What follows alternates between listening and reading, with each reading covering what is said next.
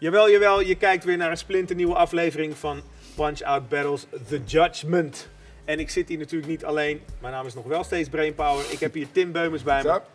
MC Excellent, Kimo en onze zeker gewaardeerde gastjury Dankjewel. Jason Bourne. The One Million Man. The One Million Man. The One Million Views Man. Frits Brits. Een van de weinige battles in Nederland die meer dan een Brits. miljoen keer bekeken is. De eerste ook. In de geschiedenis van de Nederlandse rap battle. Kijk, de eerste die een miljoen In de keer- geschiedenis van de Nederlandstalige en Nederlandse rap battles, de eerste battle die meer dan een miljoen keer bekeken is. Dat was de battle tussen Kaaskoes en deze meneer hier, Jason Bourne. We zijn blij dat hij erbij is. Hij heeft zijn award in ontvangst mogen nemen. En dus gaan we vandaag eventjes lekker praten over een van de battles tijdens het event. En dat was Chopper versus Clint. Yes, sir. Wie wil er beginnen? Kimo. De Ah, mening. Ja. Ja, ik, Steek vond, van ik, vond het in principe een redelijke battle. Niet, niet, niet, eh, niet slecht. Ik vond Chopper best wel eh, nice uit de verf komen.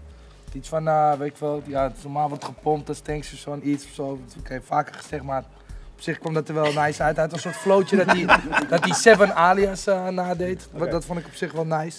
Met Eh, die Hitler-referenties. Ook. Ja, Toch? ja, Linkerbaan. Ja, ja, die was, eh, dat was grappig. Eh, Asian accentje wat hij deed. eh, Ja. Is deze Fuyong Hai, die vond ik nice. Ehm, hij zei ook over Clint natuurlijk zijn naam speel je CLNT van Chinese Olympia Neuk Taser. Die kwam er op zich goed uit. Eh, ik vond Clint ook niet slecht. Hij ging ook eh, weet je, een beetje een Turks accentje weer nadoen, dus om dat Mm. een beetje te counteren. Dus toevallig dat ze dat alle twee eh, hadden Nee. verwerkt. Het was omgekeerd. Omgekeerd? Clint, Clint begon, die deed eerst Clint eh, begon. Turks accent. Oké, ja.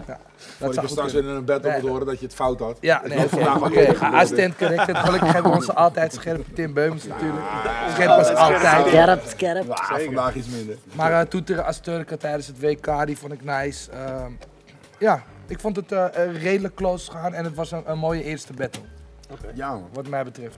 Ja, Tim, wat wil je, wil je aanvullen? Ja, ik, ehm, ik vond Chopper echt gegroeid, man. We hebben, we hebben een paar Chopper battles gezien. En we hebben altijd gezegd van, ja, het lijkt wel alsof hij zeg maar, op één lijn blijft hangen, weet je. We hebben meerdere judgments gezegd, ja, het lijkt wel alsof het gewoon, dit is Chopper, weet je. Hij is een soort van de drempel en... Nee man, dit keer niet man. Hij, hij, eh, zijn meeste bars waren gewoon on point en raak. En hij zei nog achteraf, hé, hey, ik zit in mijn, eh, momenteel met mijn, ben met mijn diploma bezig, ik ben mijn afstuderen. Dus wacht, als ik me klaar ben, kan ik nog meer focussen. Zeg, vriend, zeg, eh, het ging gewoon erg goed, weet je. Wat ik ehm, heel slim vond aan Chopper, was Clint trok op een gegeven moment die Turkse vlag. Waar hij iets mee deed en die gooide die op de grond. Wat ik echt slim vond, was omdat hij gewoon keek, hij, hij pakte hem gewoon. Mm. En zo, Hij kuste vlag. gewoon. ja. Zo van, maakt niet uit, je gooit je Mwah, was met jou. Vond ik clever. Ehm, ja, de- bars die jij natuurlijk hebt, hebt genoemd waren allemaal goed. Ja, ik, ik had nog een stuk van, eh, jouw moeders kut zit zo vol zaad dat de zaadbank failliet gaat. Ja, leuk, weet je. Dat zie je gewoon voor je. En, eh, Tim wel. ja. Eh, Clint. ehm, ja, ik vond Clint, Clint had wat, die schoonmakerstukjes vond ik leuk. Eh, op een gegeven moment pakte Clint Taser aan. En eh, toen eh, viel er een stilte en toen riep Taser uit het publiek, ronde 3, je bent B. en op de een of andere manier werkte dat. Dus het is altijd een soort van... Maar jij houdt wel van die awkward, grappige, melige momenten dingen. Da- maar dat niet alleen, maar het is ook een soort van risico. Weet je? Je, eh, als Ja. jij iemand buiten het publiek aanspreekt, die niet jouw tegenstander is, en die persoon is scherp, die kan gewoon, vanuit, die kan gewoon schemen uit het publiek en zijn moment pakken. Ja. Ja. En dan neem je het taser niet kwalijk. Want je begon zelf. Ja. Ja. Toch? Het is een paar keer gebackfired. eh, de Ja, afgelopen over het algemeen werkt die shit niet zo goed, weet je. Maar Ik snap het. wat me opviel aan, eh, aan Clint, ik heb Clint vandaag voor het eerst offstage gezien. En eh had ik hem even sprak. Ik vind Clint echt een super sympathieke jongen. En ik had echt zoiets van, dat zie ik eigenlijk niet zo erg. Ik zie het steeds meer terug op het podium. Maar ik heb het gevoel dat hij nog wel wat meer gewoon zichzelf kan zijn. Hij hoeft niet zo boos te doen. Hij kan best wel ook gewoon zo'n grappige ik zijn of zo. Ik denk dat dat wel een goed groeipunt zou zijn. Goeie, goeie tip. En als laatste, uh, lyricaal, bestaat dat nou? Het woord lyricaal. Want hij gooide hem vandaag weer. Weet je wat lyriek. je bedoelt? Ja, je weet. Weet je wat Ja, ik heb hem eh, ook wel eens eh, in een uh, freestyletje Oké, nou dan hebben we het over gehad. Het Eh, moet lyrisch zijn, toch? Lyrisch, ja. Ja, nee, nee, maar Ja, als maar- iemand lyricaal zegt, denk ik altijd van ja. Maar ja, Maar- poetic justice, ik bedoel, alles mag toch? Oké, prima. We hebben het over gehad. Maar het is interessant, we gaan, het, we gaan, het, we gaan het uitzoeken, Excellent. Ah. Eh, Jason, ik wil jouw mening graag weten Ja, over zeker. deze battle. Eh, ik vond Chopper eh, best wel heldere delivery hebben. Dus hij is goed te verstaan, energie zit er goed in. Ja, pompstation, tank, nou, pompen en tankstation, dat soort wordplay zijn vaak gedaan. Een beetje voor de hand liggend. Ik zou het altijd schrappen. Ehm, hij heeft een, eh, hij had een line reanimatie. Eh, een bar daarover. was een goede wor- wordplay. Eh, Weet iemand die line nog? Ja, het ging over, eh, over, over tekenen en cartoons. Dat hij zich gaat Ja. zeggen, jij bent een soort reanimatie. Zoiets. Het ging over dood en cartoons en Ja, die dus dingen. dat, dat, dat was nice. Eh, en dan over afkorting, eh, of ja, niet afkorting, maar Chinese Lumpia Neuk Taser. Ja. Clint, CLNT. Dat was wel iets, ja, was verrassend uit de hoek. Eh, ik vond grenzen voor, grenzen van ga- gazen en zo, dat soort wordplays vind ik ook voor de hand liggend. Ja. Ik miste de echte afmakertjes. Wel veel pijnlijke play-out dingen. Maar geen killer haymakers? Nee, of- niet echt, niet echt. Gewoon net, net, net wel, gewoon om te lachen, maar niet echt dat, dat je iemand gewoon echt, echt afmaakt. Ja. Eh, bij Clint had ik eh, eh, spuug op snor, dat soort dingen, weet je. Dat zijn echt eh, te vaak gedaan. Ja, en, dat, dat, dat zijn gewoon dat is een beetje played out inderdaad. dat Snorfiets. zijn gewoon van die Ja. mopjes, weet je. Ja. Snorfiets, bromfiets. eh, wat me ook opviel is dat hij veel enkele rijms gebruikt. Ik vind dat, dat je dubbelrijm in deze tijd gewoon dat best wel de basis moet zijn. Als je bij- schrijft sowieso. Als je schrijft, weet je. In bij- freestyle de te vierdubbel. simpel dan, kan je zeggen? Of, of, Ja, gewoon dat je alleen de laatste woord rijmt bijvoorbeeld. Ja. Maar je moet zeg maar meer eh multirijms erbij doen. In senior freestyle de 4-5 Ja, dubbel. ja. ja, precies. Terwijl dat Ja, gewoon freestyle is. Dus Ja. hij maakt er zich wel makkelijk van af. ja, ik vind dat als, als je volschrijft dat je dan Iets meer. iets effort. meer, ja, meer cre- creativiteit ook. eh eindrijm is gewoon heel saai eigenlijk. Eh, Jullie horen het allemaal. Als jij ook eh, one milli man wil worden, dan moet je meervoudig rijmen.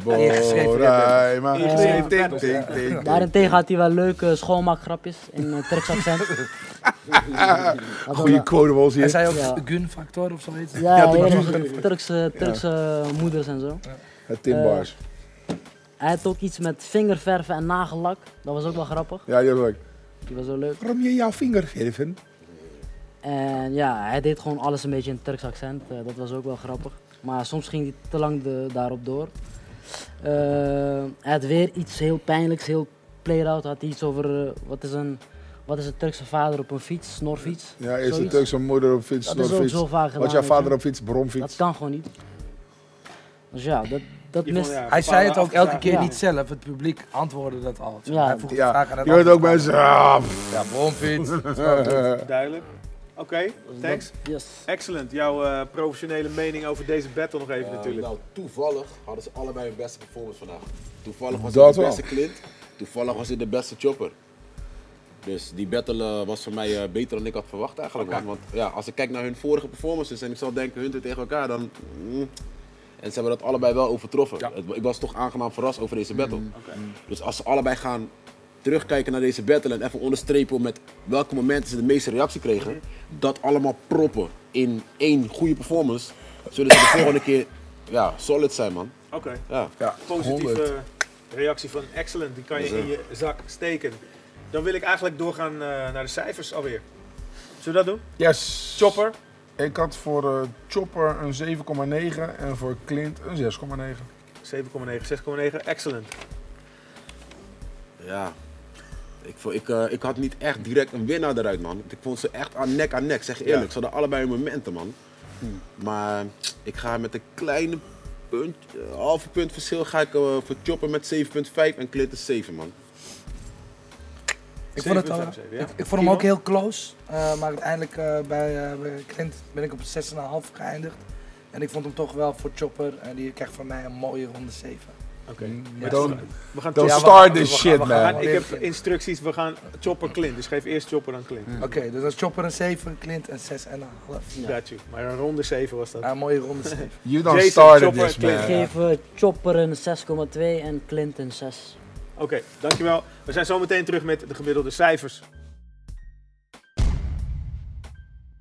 Yes, hier de gemiddelde cijfers voor de battle van Chopper versus Clint. Chopper eindigt met een 7,1 en Clint met een 6,6. En deze cijfers en deze juryleden en hun meningen zijn niet de enige factoren die bepalen wie er wint. Je kan je stem uitbrengen, je invloed uitoefenen of beoefenen. Het is maar hoe je het ziet. Bij Punch-Out Battles, dus geef je mening. En dan eh, gaan we weten en er echt ook komen wie, wie, wie er echt gewonnen heeft. Did I stutter? Is this a stutter? Motherfucker.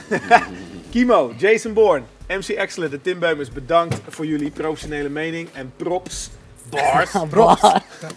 Dit is Brainpower en ik zie jullie de volgende keer.